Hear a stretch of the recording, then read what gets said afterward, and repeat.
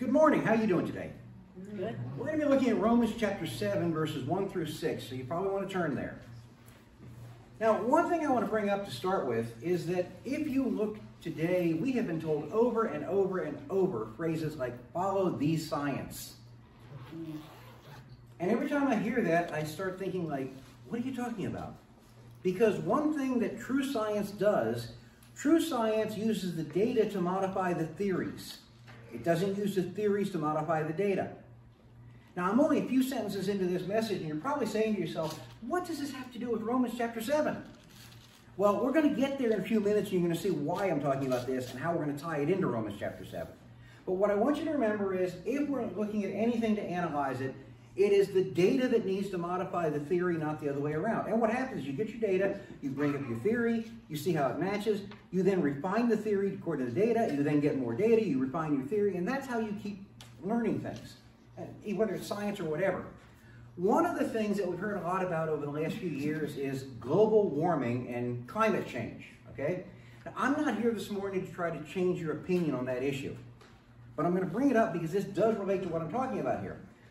Several things that are interested with the climate change narrative is that if you remember back in 2009, we had what was called Climate Gate. A little later, we had more recently, we had Climate Gate 2. And Climate Gate was when they found all these emails being exchanged among the leading climate scientists of the world, literally saying things like, how do we fake this data and modify this data to support our position? Should have blown everything apart, but it didn't. They doubled down on it. But it was amazing. If you actually read some of the emails, it was unbelievable what was being said among, among these people. In addition to that, what we've seen is there's data manipulation in that there's been historical changes of the data.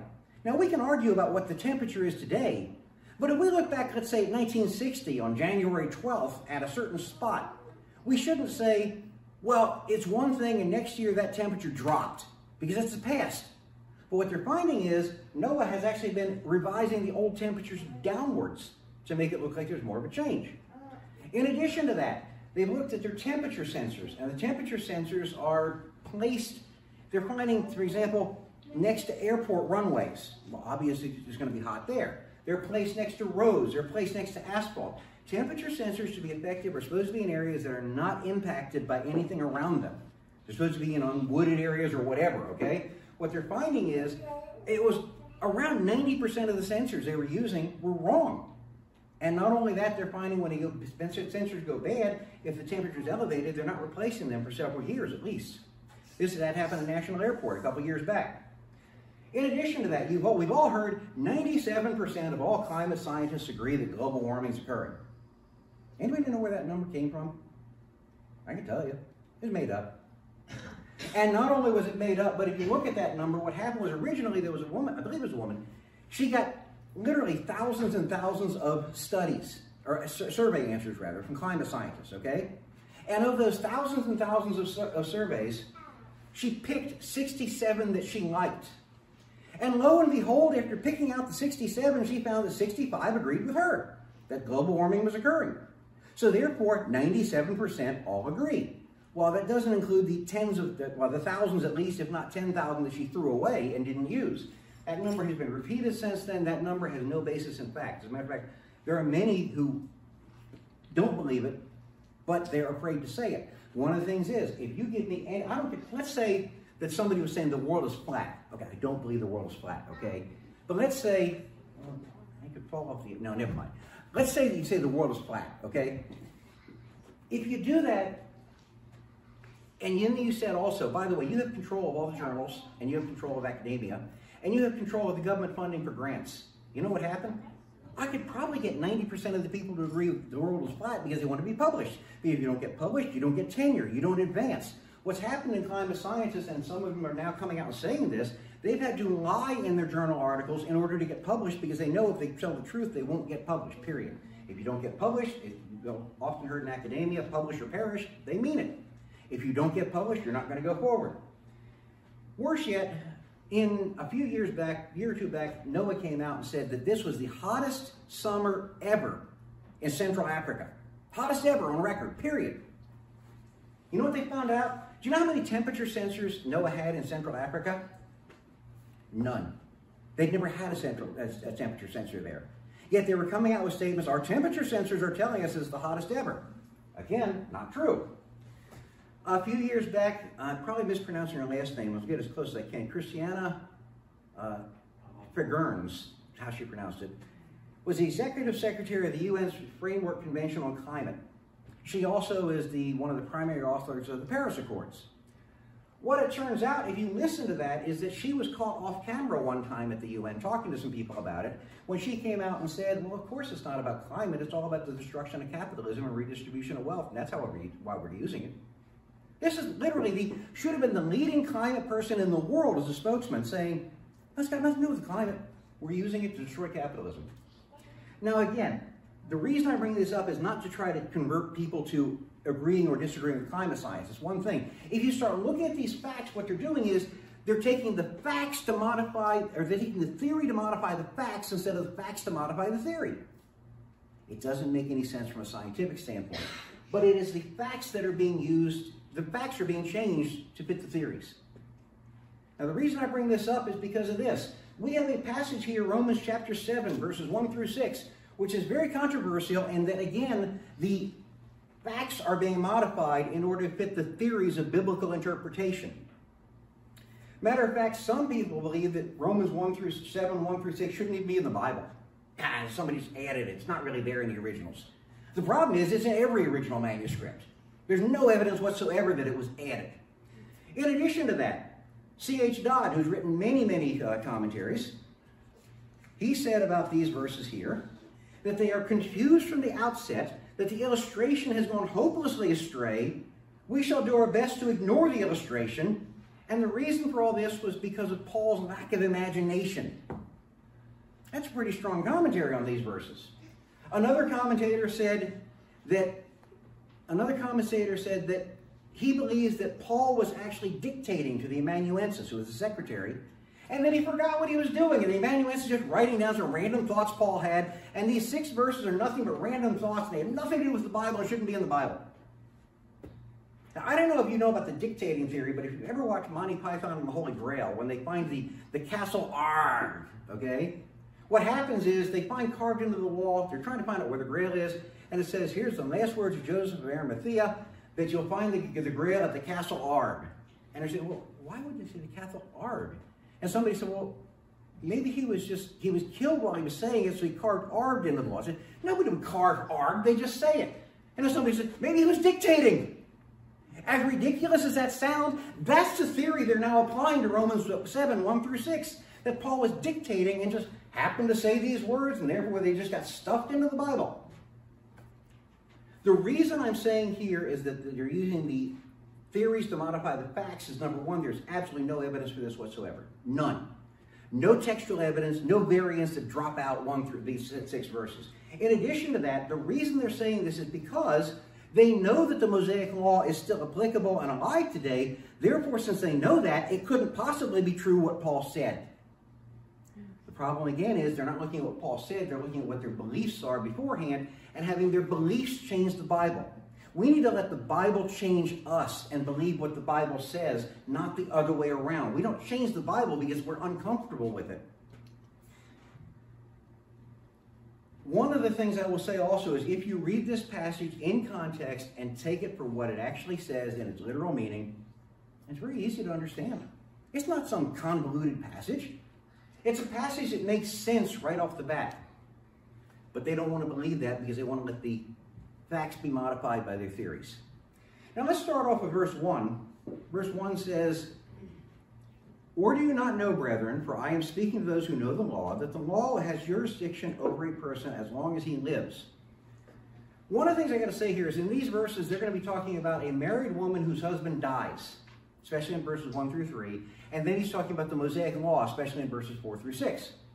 The thing that's easy to get confused is many people think this is a passage about the spouse dying. It is not. That's not the topic. That's the illustration. And we don't keep that straight, things will get very mixed up. The topic is, is the Mosaic Law dead and, or, or is it applicable to them still as believers in the New Testament church?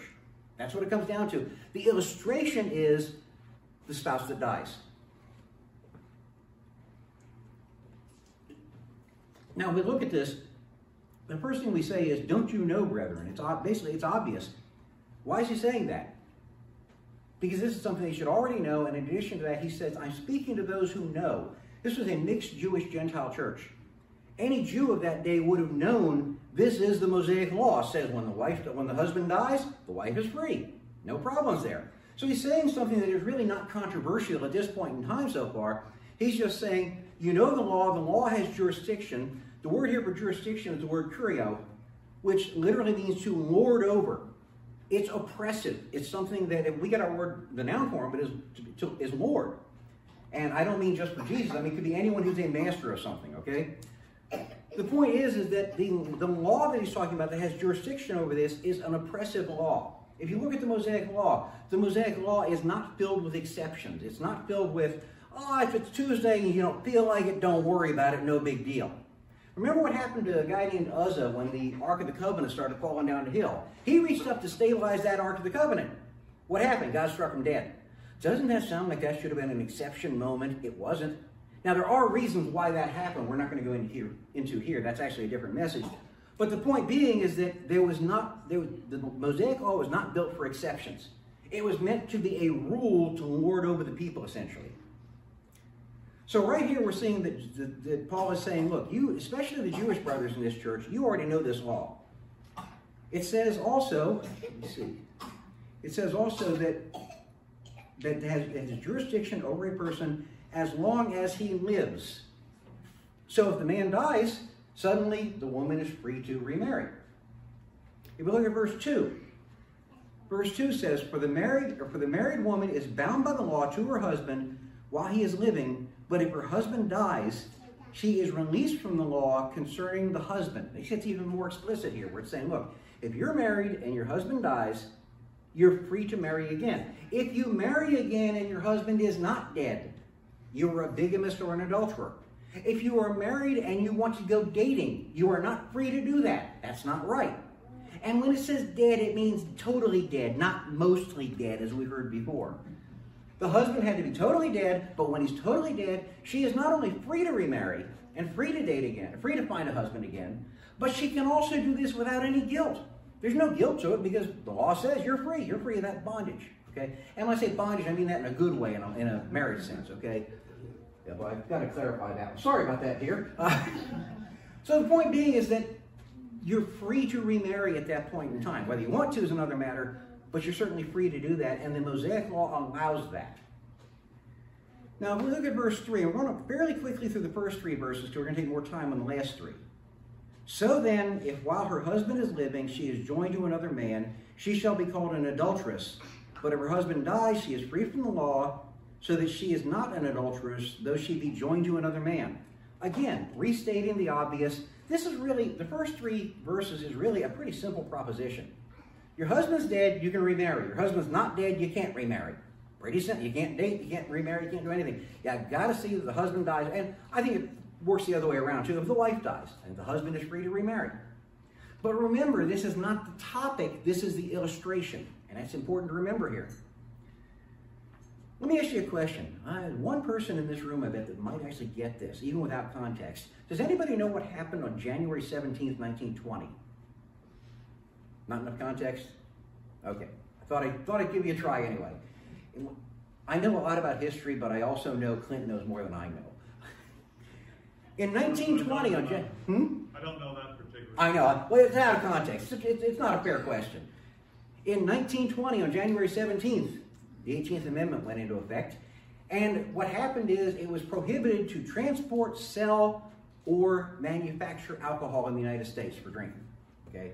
So it's a medicinal alcohol, but you couldn't make alcohol anymore for drinking. In 1933, there was a repeal of the 18th Amendment, which is the 21st Amendment, and that was on December 5th, 1933. Don't know if it's a true story or apocryphal, but people supposedly asked Eliot Ness what he was going to do on December 5th, 1933.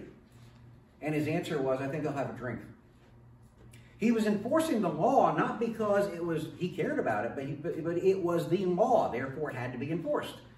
If you took a drink, On December 4th, 1933, you were still violated. Actually, take that back. You could drink, believe it or not, you could drink under prohibition. You couldn't sell, manufacture, or transport liquor.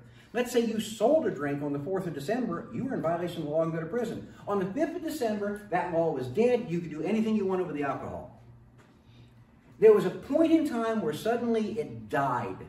When it died, the law was no longer in effect. That's similar to what we're seeing here is Paul saying, look, with the marriage situation, when the widow dies or when the person dies, the widow is free to remarry. And then he's going to take this, you know, you might say, why is Paul going through all of this? Why? Because all of a sudden he's going to apply this to Mosaic law and the Mosaic law is going to make sense. If we turn to point, or verse 4, and this is where we get to the meat of the story, it starts with the word therefore.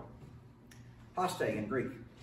Whenever you see the word therefore, I know it's trite, but you do want to look for what it is there for. You see therefore, since, any words like that saying, hey, what's this there for? What this means is you can't start a verse with therefore and just decide I'm going to go on from here and know what's going on because you got to look back and see what's it based on. You see therefore, first you want to do is go backwards.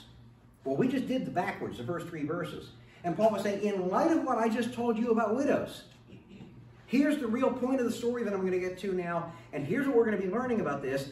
And in light of this, he says, Therefore, my brethren, you were also made to die to the law through the body of Christ, that you might be joined to another, in him who was raised from the dead, that we might bear fruit for God. Paul is actually saying here that the Mosaic law is dead. Now, when we say that, the first thing I usually hear is, wait a second. I got you. Matthew 5.17. I know Matthew 5.17, the law's not dead. So Matthew 5.17 says, Do not think that I came to abolish the law or the prophets. I did not come to abolish, but to fulfill. Well, that doesn't sound like a dead law, does it? Well, there's two things we have to remember. Number one, when Christ said that, he was under the Mosaic law. Last week when Robin was talking about the fact that the, the Gospels were written under the Mosaic law, he's absolutely right. It wasn't until after the death of Christ that the Mosaic law went away. Galatians 4 4 says that Christ was born under the law. So we know the law was in effect in the Gospels. But at a certain point in time, and I believe at the death of Christ is when it happened, that's when the Mosaic law became out of effect. But here we got again Christ saying, I came to not abolish, I came, do not think that I came to abolish the law or the prophets. I did not come to abolish, but to fulfill. But there's another important thing here also. Because the word for abolish is the Greek word kataluo. Now, don't worry about what it is, but here's the point. Kataluo literally means to destroy, to obliterate. If I took and ran at that wall and ran right through the wall and knocked it down, that would be kataluo. I'm going to go right through it, demolish. I can just obliterate the wall, okay? I don't know if I can do that or not. Probably not. But anyway, the point being is it's to destroy. And when Christ said, I came to destroy, he came, did not come to destroy the law, that never did change. Here's why. If Christ had abolished the law, it would have literally been saying, hey, you know that law, you know that Mosaic law thing? Don't worry about it. No big deal. If you didn't follow it, who cares? That would have been abolishing the law. He didn't. The law was effective until the point that until the point that he died. And even after that, the Mosaic law still truly states what the Mosaic law is. But it's not binding on believers today. Which probably brings another couple questions we're going to get into. We're going to get into here as well. Is well, wait a second. If the Mosaic Law is dead, does that mean anything goes? No, it doesn't. We're going to get to that in a minute or two. One thing I want you to look at here also, when Paul says about dead to the law, that is an aorist passive verb in the Greek. Now, the word I want you to focus on is passive. Verbs come in three types, even in English active, passive, and middle. An active verb means you're doing something. A middle verb means you're doing something to yourself or for yourself. A passive verb means something's being done to you, okay? For example, if I say I run, I run across the street, you know, that's a, an active verb, I'm running. If on the other hand I say I was run down by a truck, that's passive. I'm being, the truck's doing the action. I'm get, taking the action. Well, here's what's interesting. That word was used for dying to the law, and literally that word dying to the law means made to die to the law is the best way to put it. Now, what's the difference between made to die to the law and dying to the law? Dying to the law might imply that we're doing it. We didn't do anything to do this. We were made to die to the law because it was God Himself who did this, and God Himself who provided the sacrifice to make us so that we could be acceptable in His presence. So that's why it's saying passive, saying that believers are made to die to the law. In addition to that, it was by Christ's body. We can see that in verse 4 where it says, through the body of Christ. When it says through the body of Christ, if you remember two weeks back, we talked about propitiation.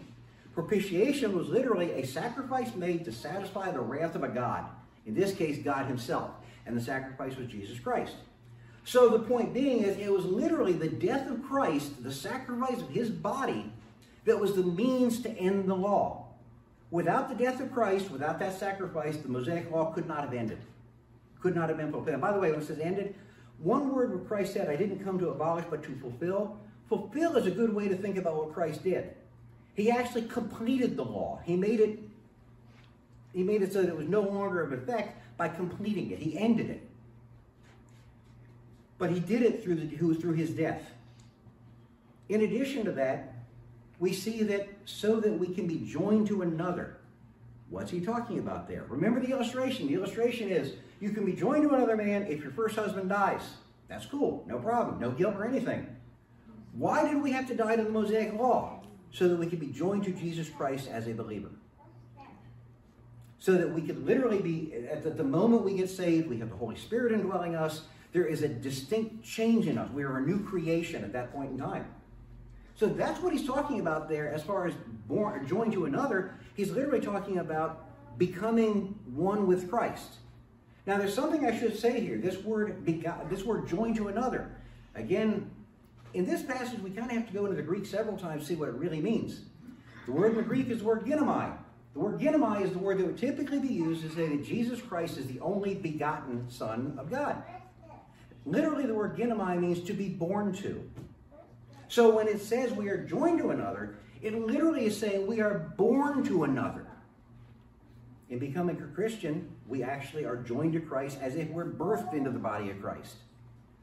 And again, the title of the Mosaic Law had to be severed first because if you look at the Mosaic Law, the Mosaic Law, the Mosaic Law was never meant to save, and that's what the Jews also missed a lot of times. They would see it as a way to be righteous. Well, you can't be righteous. You can try, but you can't be fully righteous. It was never meant to actually save anyone, because you know something? Nobody could complete the law satisfactorily and fulfill it all. That's why we have to be saved through what Christ did instead of our own righteousness. The other thing, as well as being born into another, is that the word here for another is actually hetero. Now, we've got three or four words at least that can be used for another in the Greek. But hetero is the word that's used when it's another of a different kind. For example, we have a word like heterosexual. Obviously, you know, when you talk about male versus female, we're all people, but we're definitely distinct. Okay? So the point being is that when he's saying born to another, it's literally born to another of a different kind. What he's saying is Jesus Christ and salvation is not like the Mosaic law. These two things are here. They both they both are pointing to God. Well, Christ and salvation, the Mosaic law is pointing to God. But the point is they're not the same. And there never should be an equivalence between the two. And then we see also that basically we can't get rid of we, we can't get until the law was dead, we could not be joined to Christ. And that's why I believe also that it died at the moment Christ died. Now, one of the reasons you might be asking also is why is he even talking about the law? Why is this even going on? One of the things we hear today, you've probably heard this, if you ask somebody, is the law still in effect? Well, there were three parts of the law. There was a moral part, there's a civil part, and there's a ceremonial part. And the civil and the ceremonial parts of the law have died, but the moral part's still in effect. There's one problem with that. That's not in the Bible. The Bible never says that. The Bible says in multiple places, especially in Romans and Galatians, the law is dead, speaking about the Mosaic law. So how in the world can we have this if the law is dead, including the moral law? What, it's okay to murder now? It's okay to steal? It's okay to do this and that? How can we have that, that it's not just everybody do what you want? And here's the answer to that one. When it says the law is dead, it's talking about specifically the Mosaic law, not all law. Let me ask you a question. Mosaic law was written about 1400 BC. If in 1700 BC, previous to that, somebody says, I'm going to kill somebody, was it okay because the Mosaic law didn't exist? Certainly not. When Cain killed Abel, long before that, it was still murder, it was still sin. God didn't say, oh darn, I should have written that Mosaic law so you'd have been responsible for this one. It doesn't work that way. The reason is because right and wrong have always been defined by the character of God. When the Mosaic Law died, the moral part of the Mosaic Law died, the whole Mosaic Law died, but morality didn't die. Right and wrong didn't die. That has always existed separate completely from the Mosaic Law. The Mosaic Law was God's way of reaching out to Israel specifically and dealing with them. It wasn't meant to say this is comprehensive for all time, for all people, and, and all, all activities. One thing to think about this, as far as a good, a good way to think about it is, if you committed a murder in Maryland, and you went to Pennsylvania, and Pennsylvania arrested you and put you in, and, and grabbed you for could they try you for murder? Nope. They can't do it. Why? You'd have to be extradited back to Maryland so that the place that has jurisdiction over the murder would be able to try you. They can pick you up on the arrest warrant, but they can't try you for the murder in Pennsylvania. Murder is a state crime, and therefore they have to bring you back to where you committed the murder. The point being is that if you look at the Mosaic Law, it was really, Paul was really saying it no longer has jurisdiction over anyone at the point in time when Christ died. So the end of the law, the death of the law, doesn't mean that right and wrong died. It means the Mosaic law is no longer the, the applicable terms. If you committed a murder, you're still guilty in the eyes of God because murder was always wrong, but not because of the Mosaic law anymore. It's a different jurisdiction. And that's what he's talking about there. Sometimes we forget also that sin is anything against the character of God, basically. Right and wrong is defined by God himself. And that has always existed. That doesn't change. In addition to that, if we look at the end of this verse 4, it says that the purpose of this is so we might bear fruit for God. You ever think about that? When we become a believer, why are we believers? So that we can bear fruit to God? Pretty high responsibility, to be honest with you. But not only that, if you also were to cross-reference Ephesians 1, you'd find out what is the purpose of a believer? To glorify God. That's what a believer should be. Everything we do should come under the title of glorify God. That's simple. We're to bear fruit for God. We can see this here. And what Paul was saying is, you can't be bearing fruit for God under the Mosaic law and then be a believer because they don't match with each other. The distinction. The one died. If you were under the Mosaic law and the Christ at the same time, it would be the same as an adulteress. Two masters which we'll get to in a minute here. Now, look at verse 5. Verse 5 says, For while we were in the flesh, the sinful passions which were aroused by the law were at work in the members of our body to bear fruit for the flesh. What's he talking about? Well, when, when in the flesh, he's first of all talking about prior to salvation. Sinful passions, pretty obvious. We want what we want. I think maybe maybe the key words for sin should start with I want. Because that's where most sin starts. And when he talks about the members also, don't forget, sin starts in our mind. You never have something like, oh darn, my arm ran out the other day and slugged somebody. Sorry about that. I had nothing to do with that. Didn't even think about that. Of course not. It starts with the mind. And, it, and our body follows what our mind tells it to do. But it says also that these fleshly passions were aroused by the law. I have a suggestion for this. We are in rebellion to God as unbelievers, when we're unbelievers. And I don't know about you, but I know most kids, when they're in rebellion, when they're told to do something, they may do it, but there's a little piece of them that's going like, eh, should I really be doing that? You know, I don't really want to do that. I've often wondered if you could get kids to clean their rooms by telling them, don't you dare clean your bedroom. and maybe that's the way to do it. But the point is, is that what I'm saying is that we have this natural rebellion that leads us into sin. And you think back that that's a normal thing. Not only that, but the law shows sin. If we don't know about the law, and the law, I mean, the Mosaic, he was speaking about the Mosaic law, the law, was showing sin. If they didn't know about the Mosaic law, they didn't realize they were sinning at that point in time, maybe. And that it provided opportunity because the more laws you have, the more chances there are to violate the law. Think about this. If there are no speed limits out front, how fast would you have to go in order to be ticketed? No speed limits. You do what you want. You, want, you got a car load of 200? Cool. The point is that the more laws you pass, the more chances there are to violate the law. That's what he was saying in the Mosaic law here is the violations were occurring because the law made it clear and the law had to make it. Let me say something also that Paul said as well. The law was holy. There's nothing about the law that was unholy or wrong. The reason it showed people started doing wrong is because it showed them how holy God was and that they could never live up to God's standards. Now, in addition to that, if we go to verse 6, which is where I want to be now, says, But now we have been released from the law, having died to that by which we were bound, so that, the, that we serve in the newness of the Spirit and not the oldness of letter. When we look at this as far as being released from the law, this goes back again to the illustration and why Paul used the marriage illustration. Think about the other people who, have been saying, oh, Paul didn't know what he was talking about, the illustration was hopelessly confused. He's not confused at all. You look at the illustration, Paul says, just like when, when the spouse dies, you're free to remarry. He's saying the release from the law happens when Christ died. When Christ died, we were no longer under the Mosaic law. We were discharged from it. We were estranged from it. And not only that, this word here is having died to what, having died to the law, we died to what we were bound to. Now, literally, he's speaking to the Roman believers there. They would have been very familiar. Many, the Jews would have been, the Jewish portion would have been very familiar with the Mosaic law. That would have been something that was part of their life until recently.